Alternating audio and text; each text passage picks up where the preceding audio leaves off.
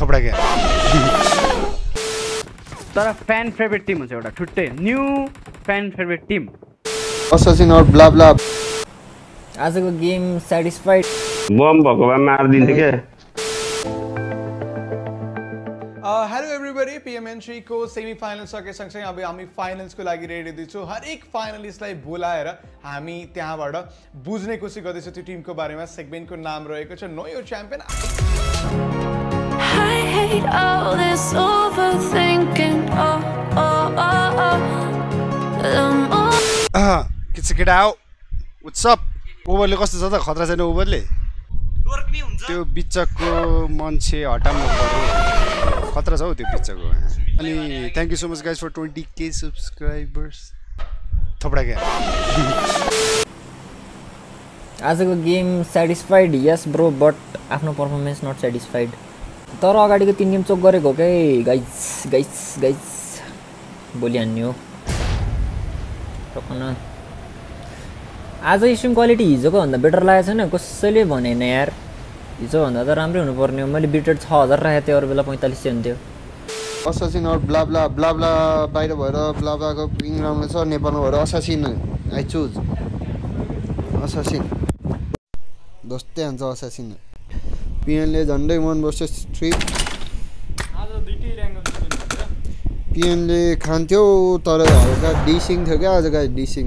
पिङले गर्दाखेरि डिसिङ खायो च्यार त हुरुरुरु जाँदो रहेछ हिही रे यो झुकेर हो म्याउ।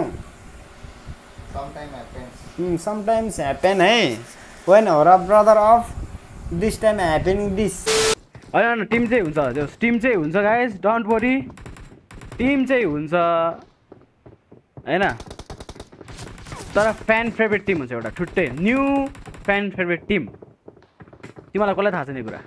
नआउँछ नआउँछ तिमीहरू चिल मार न हौ चिल मार बम पनि छैन मा म मारिदिन्थेँ बम भएको मान्छेलाई दुइटैलाई। हजुर हजुर। बम भएको भए मारिदिन्थेँ क्या यो अर्को घरमा केटाहरू मरिसकेको सबैजना नेपाली? ए छ। कहाँ छ? पचिन्कीमै हो?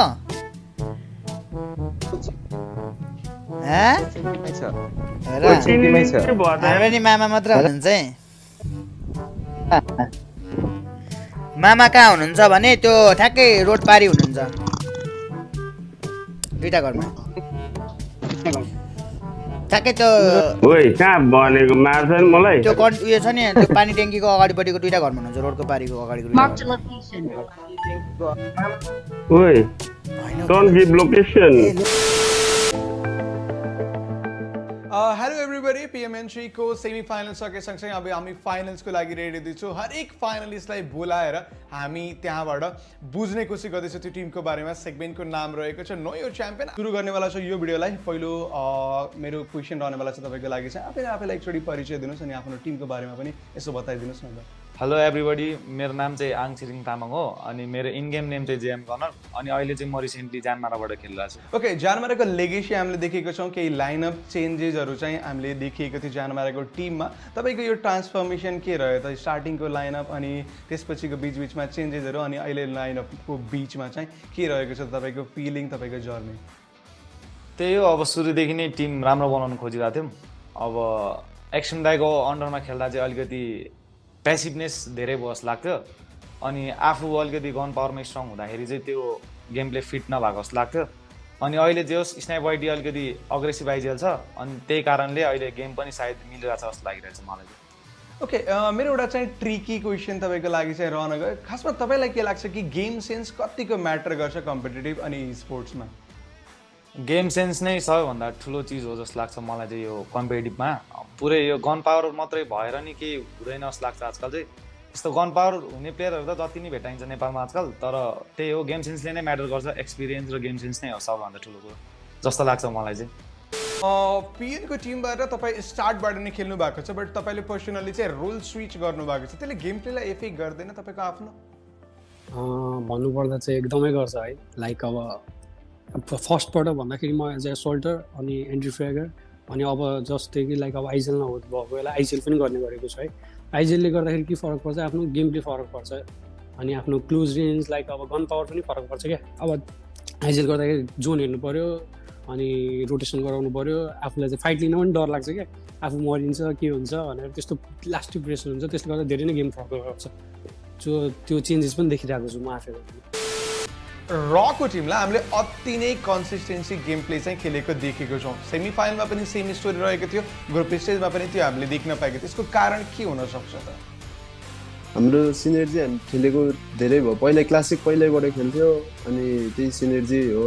अनि बिचमा मेरो ग्याप पनि भयो। त्यही पनि ग्याप भएर धेरै यस्तो राम्रो हुन्छ भनेर हामी त्यही राम्रो भएको गेम हामीले रेयरली देख्छौँ कुनै पनि टिमको चारैजना प्लेयर्सहरू फ्रन्ट लाइनबाट फाइट लिगेको अथवा आफ्नो खातामा किल निकालेको बट रले त्यो गर्न सकिरहेको हुन्छ। यसको कारण के हुनसक्छ स्पेसली हामी सर्भाइभल भन्दा नि किलमै अहिले ग्रुप स्टेज र सेमी चाहिँ किलमै फोकस गरिरहेको थियो।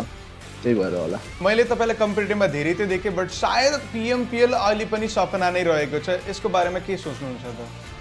त्यही अहिलेसम्म खेल सबै पिएमसी खेल्यो होला पिएमपीले एकचोटि खेलेको छैन त्यही अब यही पिएमएनसीबाट फ्लट आउँछ कि भन्ने हो छ मैले एजेन्ट प्लेयर तपाईँलाई मैले धेरै टाइमबाट चाहिँ देखिआएको छ बट अडियन्स सायद अननोन होला पिएमपिएल सिजन वान हुँदाखेरि आउट अफ अन्डरडक टिम तपाईँले आफ्नो टिमलाई चाहिँ पिएमपिएल फाइनलसम्म पुऱ्याउनु भएको थियो जर्नी के थियो अनि अहिले के चेन्जेसहरू रहेको छ त अब त्यति बेला चाहिँ अब जो जो हामीसँग लाइक रोस्टरमा जो जो थियो नि हाम्रो प्लेयरहरू। म थियो डेमन थियो निकु भाइपर। एभ्रिबडी अब हामी चाहिँ कसरी खेल्थ्यो भन्दाखेरि विज टु ग्रान्ड कसरी ग्रान्ड गर्थ्यो भने हामी क्लासिक बडी खेल्थ्यो क्या क्लासिक बडी खेल्थ्यो अनि क्लासिक बडी खेल्दा खेल्दा अब सिनर्जी त्यति बेला अब त्यसरी आफै अब अटोमेटिकली बिल्डअप भयो क्या बिल्डअप भयो अनि त्यसपछि अनि त्यही फर्स्ट पिएमसी ट्राई त गरियो। फर्स्ट पिएमसीमा चाहिँ अलिकति चोक खाइयो। अनि जुन हामी त्यो पिएमपिएल पुगेको सिजनको त्यो के भन्छ त्यसलाई? पिएमसिओमा चाहिँ वी क्वालिफाइड होइन? अनि त्यसपछि त्यही अब आफ्नो नेचुरल गेम प्ले खेल्दा खेल्दै हल्का अलिकति लक अनि प्लस हल्का आफ्नो हार्डवर्क गर्दाखेरि चाहिँ टिम पुगेको थियो। टिम एक्सट्रिम अलिकता प्यासिभ लाइनमा फिल हुन्छ कि? यो नेचुरल गेम प्ले टिमको हो या अहिले एक्सपेरिमेन्ट गरेको थियो ताकि फाइनलमा आफ्नो रियल गेम प्ले देखाउन सकियोस्? प्यासिभ प्यासिभ नै भनौँ एग्रेसिभको लागि चाहिँ कस्तो छ भने प्लस अहिले जुन लाइनअपमा हाम्रो छ अब नुकसान अलिकति पहिल्यैबाट खेल्दै आएको प्लेयर भयो होइन मसँगै।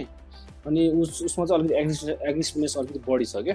अनि उसले चाहिँ अलिकति किल पोइन्ट तानिरहेको हुन्छ। प्लस म भयो अनि दिपेश भयो अनि मफिन हामी तिनजना चाहिँ हल्का त्यही भनौँ न कस्तो छ भने टिम अलिकति ब्यालेन्स छैन क्या तपाईँको। कस्तो चाहिने भन्दा दुईजना एग्रेसिभ अरू दुईजना चाहिँ प्यासिभ भएर दुईजना चाहिँ पछाडिबाट खेल्ने दुईजना अगाडिबाट त्यो भएको चाहिँ अलिकति एग्रेसिभनेस जान्थ्यो कि भन्ने कुरो हो। अहिलेलाई फिलहाल चाहिँ नुकसान चाहिँ as a aggressive as an aggressive player भयो अनि बाँकी हामी तिनजना म मफिन अनि दिपेश चाहिँ तपाईँको प्यासिभ प्लस तपाईँको सपोर्टर खेल्ने भएकोले हल्का अलिकति एग्रेसिभनेस चाहिँ गएको छैन भने प्यासिभनेस भने नि हुन्छ टिमलाई अहिलेको तपाईँको रुस्टर हेरेर चाहिँ। टिम एक्सट्रिम अति नै कन्सिस्टेन्ट देखिन्छ पोइन्ट्स टेबलमा हेर्ने भने चाहिँ गेम प्यासिभ होस् या एग्रेसिभ होस्। यसको लागि के यसको रिजन चाहिँ के हुनसक्छ अब तपाईँको कन्सिस्टेन्ट भन्दा पनि अब यही सेमी फाइनलको कुरा गर्दा पनि अब फर्स्ट डे तपाईँको राम्रै पनि तानियो। सेकेन्ड डे थर्ड डेमा जुन तपाईँको जुन तान्नुपर्ने तपाईँको एउटा टार्गेट लिएर खेलेको पोइन्ट चाहिँ तपाईँको तान्न सकिएन। लास्ट डेमा तानियो। कन्सिस्टेन्ट भन्दा पनि कहिलेकाहीँ यो गेममा अलिकति लकले पनि फेभर गर्छ लक त्यस्तै थर्टी सेभेन्टी भनौँ न। सेभेन्टी आफ्नो इफोर्ट थर्टी चाहिँ लकले गर्दा चाहिँ अलिकति भएको हुनसक्छ। त्यही हो कुरा। पिएमएनसीको नो इयर च्याम्पियन सेगमेन्टमा अरू भिडियो पनि आउनेवाला छ नि स्टेट